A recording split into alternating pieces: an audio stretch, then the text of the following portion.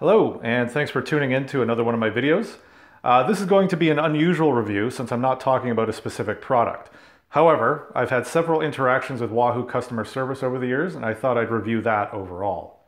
So I purchased a 2014 uh, first generation KICKR when it first came out, uh, and it's been pretty much bomb-proof. It worked out of the box, hasn't stopped working. Um, now fast forward to 2018 when Wahoo released the Climb. To use the Climb, I needed to upgrade to the 2018 KICKR. Now, 2018 seemed to be a poor production year for Wahoo, so much so that Wahoo CEO did a YouTube interview with DC Rainmaker about the issues they were having and how they plan to resolve them. It's a shorter story, so I'll start with the climb.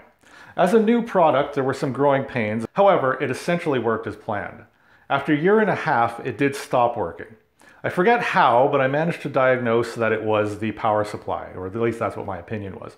Wahoo support agreed, and they wound up sending me a new supply, power supply, even though it was six months outside of the warranty.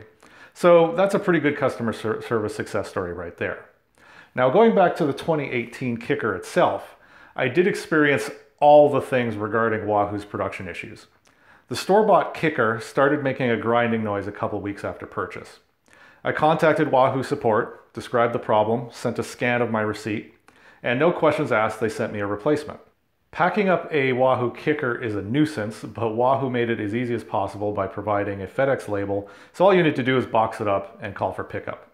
So that first warranty replacement unit arrives after about a week and a half to here in Toronto. And I'm good to go, at least for a couple of weeks when that unit breaks. Uh, that one suddenly stopped displaying power, um, and as it was explained to me, a poor quality power supply tended to short circuit one of the chips on the board or something.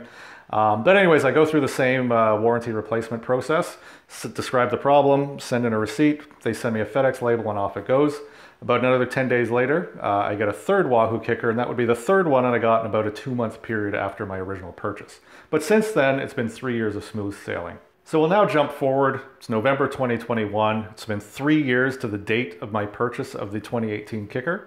And it develops a very heavy vibration at speed and a squeak when it's just slow at slower speeds. And I am under no expectations this will be covered by warranty. I take it to my local bike shop hoping they can fix it, uh, but they can't because the bearing that's an issue is inaccessible. So I come back home, contact Wahoo and ask if there's a certified repair center in Toronto because I really do not want to pack this up for shipping. I really just want to drop it off. At first I'm annoyed because despite my description, my thorough description, Wahoo seems to give me the cut and paste form asking for what the problem is, when did I buy it, please send a receipt. To, to, my surprise, I did send a copy of the receipt and they continue with the standard warranty process, including sending me a FedEx shipping label.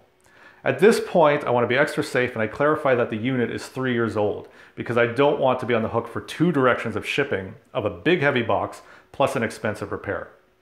Their reply was this, and I quote, we offer support on all of our devices past the warranty period when they are affected by a manufacturing issue.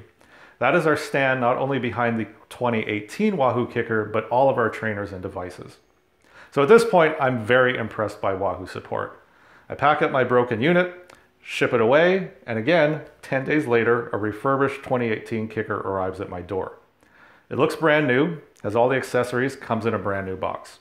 I'm even happy to report that the power discrepancy issue has now been resolved too, and it accurately matches what my pedal-based power meters say. Now I've only used Wahoo Smart Trainers, uh, and I can't compare or contrast them to a competitor's unit or a competitor's customer service. However, given my experience with Wahoo, and a replacement, a full warranty replacement after three years of ownership, I think that deserves a solid thumbs up.